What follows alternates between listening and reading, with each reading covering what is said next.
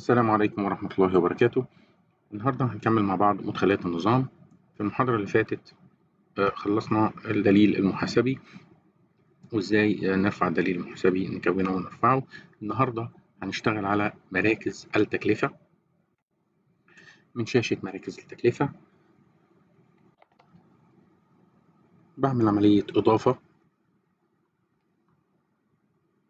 ومراكز التكلفة ممكن تقسم أو تضاف على حسب الموسم البيعي أو على حسب خطوط الإنتاج أو ما إلى ذلك. إحنا هناخد آه، آه، مثال بطريقة الموسم البيعي مثلا. فبعمل عملية إضافة. بكتب هنا رقم المركز. رقم واحد المركز الرئيسي. في حالة إن أنا بكون بكون مركز تكلفة متفرع أو فرعي من مركز رئيسي فبكتب هنا رقم المركز الرئيسي بتاعه. ده أول مركز تكلفة بن بنكونه مع بعض أو بنكريته مع بعض. فبنضغط هنا طبعا صفر لأن هو أول مركز تكلفة. اسم المركز صيفي مثلا. أو إنتاج صيفي.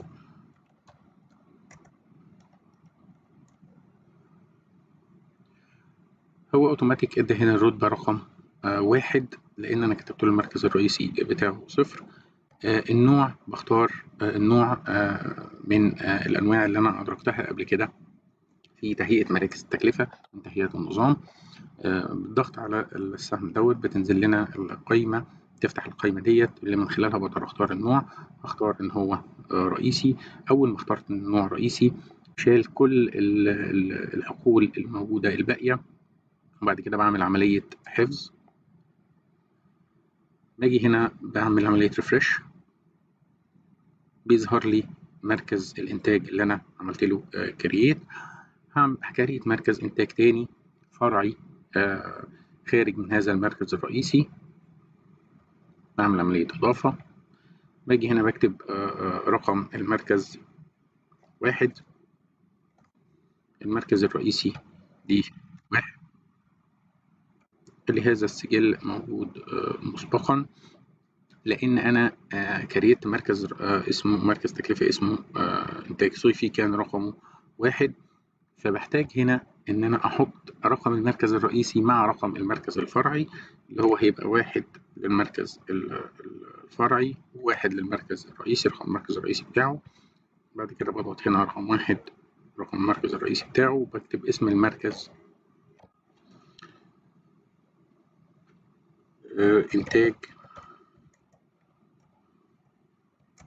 صيفي جزئي مثلا.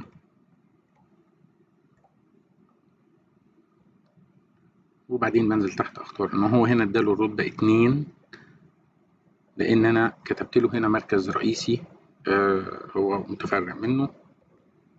النوع فرعي لما بختار النوع فرعي بيظهر لي كمان معاها مجموعة مراكز التكلفة حالة إن أنا كريت مجموعة المراكز التكلفة بربطها بيها. بضغط على السهم هنا بتظهر لي المجموعات اللي أنا عملت لها creation قبل كده وبختار منها. تحت هنا هنلاقي زرار موقوف أو ال check box بتاعت موقوف. لو علمت هنا كده موقوف فبيكتب لي تاريخ الإيقاف إمتى. وطبعا الخانة ديت أو الحقل دوت بيسمح لي فيه إن أنا أكتب إيه سبب إيقاف التعامل مع هذا الفرع. لأن مجرد إن أنا علمت هنا أوقف لي التعامل على هذا الفرع تماما فما أقدرش أستخدمه في أي عمليات. بعد كده هعمل عملية حفظ وبعمل refresh فلقينا إن مركز الإنتاج الصيفي مركز تكلفة إنتاج صيفي بقى ظهر جنبه علامة plus بدوس عليها تبدأ تظهر لي شجرة المراكز التكلفة اللي أنا شغال عليها. ممكن أكريت مركز تكلفة رئيسي تاني ممكن جدا بإن أنا بدوس إضافة. وبكتب هنا رقم اتنين. طيب إزاي هعرف رقم المركز اللي أنا شغال عليه أو اللي أنا عايز أضيفه؟ من خلال إن أنا بتابع مع آه ببص على شجرة مراكز التكلفة من هنا. المركز الرئيسي بتاعه صفر لأن أنا عايز ده يكون مركز رئيسي. اسم المركز إنتاج الشتوي اداله الرتبة واحد لأن هو ال ال الأول من نوعه في هذا في هذه ال ال في هذه المراكز. النوع الرئيسي وبعد كده بعمل عملية حفظ. بعمل هنا ريفرش بيظهر لي آدي إنتاج صيفي وآدي إنتاج شتوي. الإنتاج الصيفي طبعا هو اللي جواه متفرع منه إنتاج صيفي جزئي. الإنتاج الشتوي ما عملناش منه أي مركز تكلفة فرعي. لكن ممكن نضيف مركز تكلفة فرعي كمان. هيبقى اتنين رقم المركز الرئيسي اللي أنا عايز أفرع منه. وبعد كده واحد ده رقم المركز اللي أنا هستخدمه فعلا أو اللي أنا بكريته دلوقتي رقم المركز الرئيسي بتاعه اتنين. اسم المركز إنتاج شتوي جزئي. وبنزل تحت اختار الرتبة النوع بتاعه. فرعي هو طبعا كتب الرتبة اتنين أوتوماتيك. وأعمل عملية حفظ. لما بعمل هنا ريفرش بشوف آدي الإنتاج الصيفي وآدي الإنتاج الشتوي خارج منهم إنتاج صيفي جزئي وإنتاج شتوي جزئي. كده أنا ببني شجرة مراكز التكلفة بتاعتي ودي أول طريقة أقدر أضيف بيها مراكز التكلفة. في طريقة تانية ممكن أضيف بيها مراكز التكلفة بتاعتي. من خلال إن أنا بدوس إضافة وبضغط على السهم آسف الزرار اللي عليه علامة إكس دوت.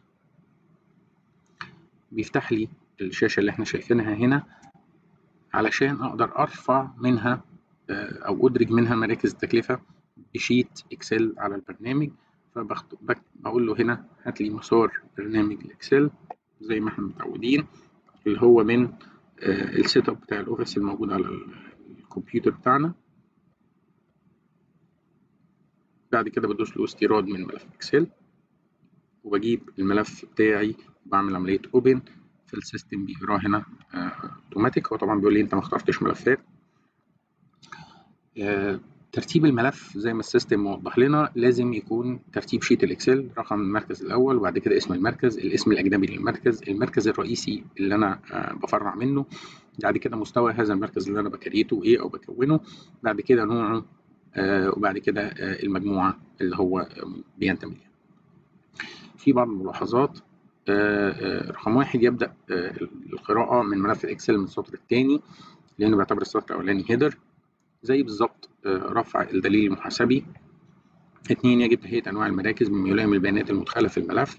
يجب أن يكون نوع المركز والمجموعة أرقاما حسب رقم التهيئة. لكن الأسهل إن أنا أكريت مراكز التكلفة بتاعتي بالطريقة ديت لأن مراكز التكلفة بيبقى عددها مش كبير أوي. فممكن أدرجها على طول في ال system. خروج. بالطريقة الأولى اللي إحنا وضحناها بإن أنا بضيفها من الشاشة هنا. بكده إحنا كريتنا مراكز التكلفة الرئيسية والفرعية وعرفنا إيه أسهل طريقة أرفع بيها أكريت بيها مراكز تكلفة على ال system Onyx. بعد كده شاشة الهيكل الإداري. من شاشة الهيكل الإداري هنا أنا ببني الهيكل الإداري للشركة وطبعا ديت بيانات إدارية لكن هناخد عنها نبذة سريعة سريعة. إزاي أقدر أضيف مركز آسف هياكل إدارية للشركة؟ بدوس هنا عملية إضافة. كتب لي هنا رقم واحد في رقم الهيكل أوتوماتيك. حط لي السيريال بتاعه أوتوماتيك لأن ده أول هيكل إداري يضاف. اسم الهيكل الإداري أقول له هنا.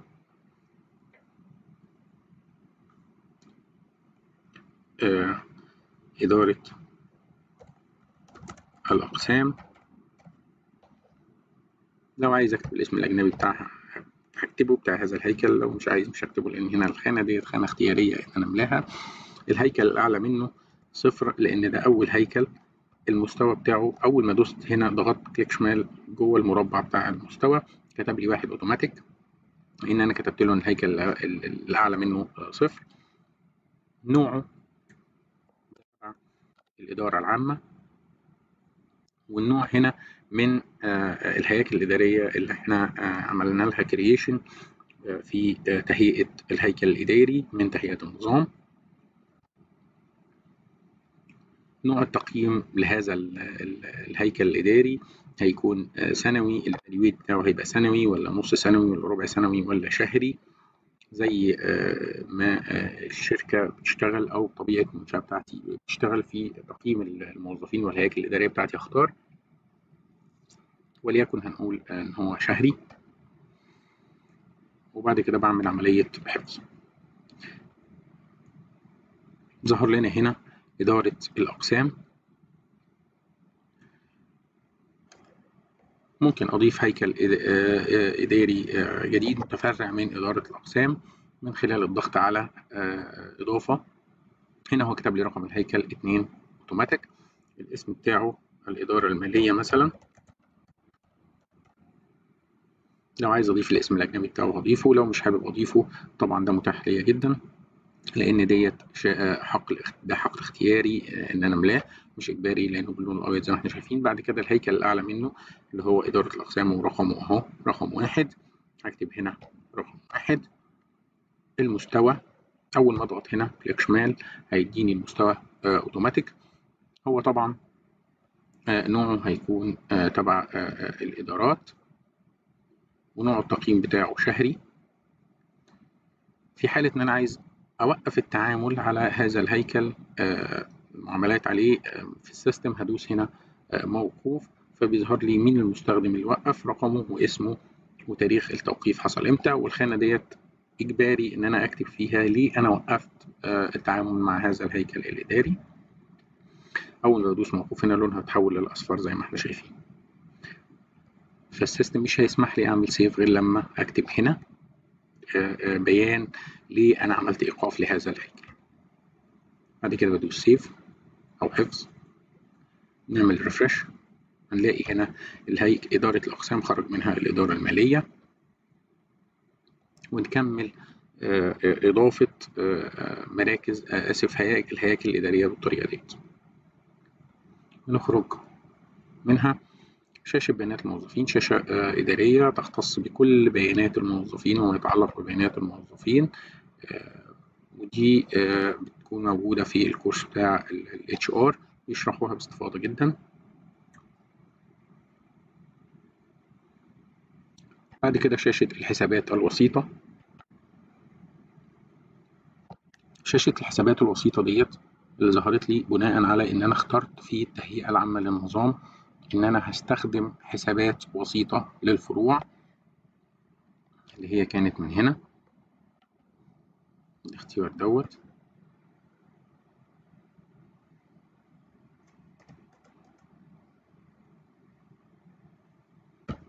من التهيئة في المتغيرات العامة. هنلاقي ال ال الاختيار دوت أهو متعلم عليه آه صح اللي هو اسمه استخدام توسيط آلي لحساب جاري الفروع فبالتالي بيطلب مني إن أنا أدخل هذه الحسابات الوسيطة اللي ال system هيستخدمها أوتوماتيك بين الفروع فبختار من فوق رقم الفرع بعد ما بعمل عملية إضافة. طبعا إحنا ما كريتناش غير فرع واحد على نسخة ال Onyx اللي إحنا بنشتغل عليها هنا. فالسيستم اختارها أوتوماتيك. لكن آه لو في أكتر من فرع اول ما بدوس على السهم ده بتنزل لي القائمه فيها كل الفروع بختار الفرع اللي أنا عايز أحط له الحسابات الوسيطة بتاعته وببدأ أشتغل على الحسابات الوسيطة لهذه هذا الفرع. وليكن مثلا هناخد حساب أوراق الدفع مثلا. باجي أقف هنا في حساب أوراق الدفع وبدوس F9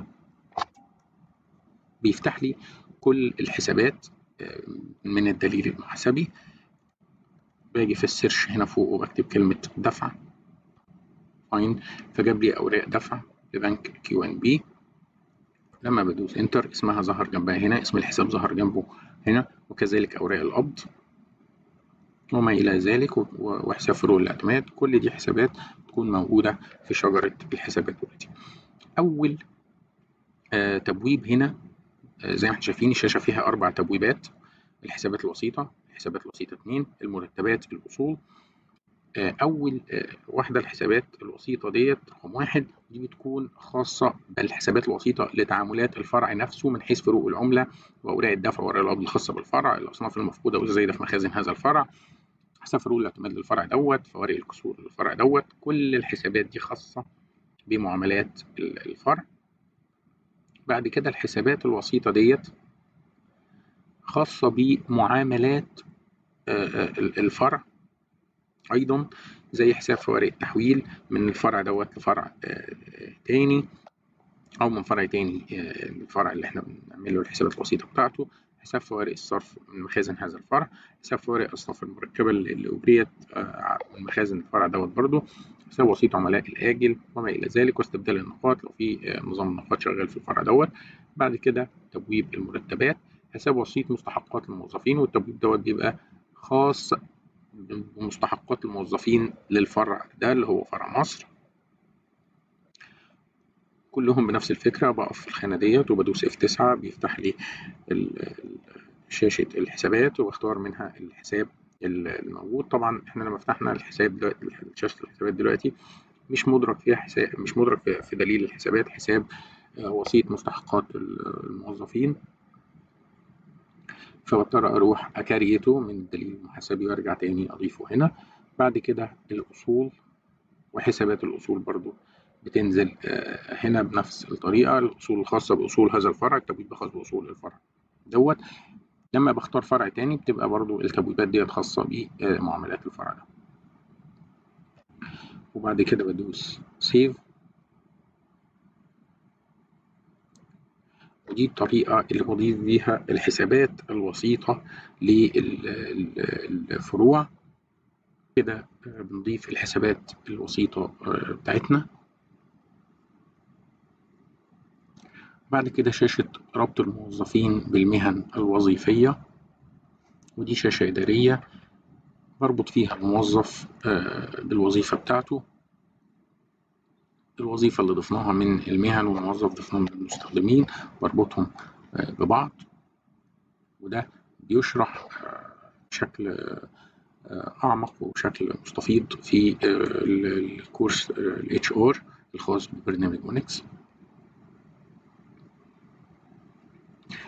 الثلاث شاشات آه الأخرانيين دول آه هنشرحهم آه في المحاضرة الجاية إن شاء الله رب العالمين. هم خاصين بالحسابات المدينة والدائنة الأخرى.